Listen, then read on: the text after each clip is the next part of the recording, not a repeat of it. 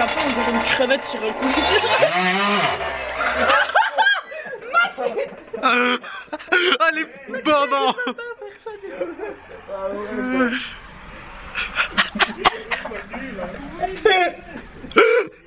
Putain, il continuait, il était sur la lampe là, juste. T'as je vois tu en lâche Il va se tuer.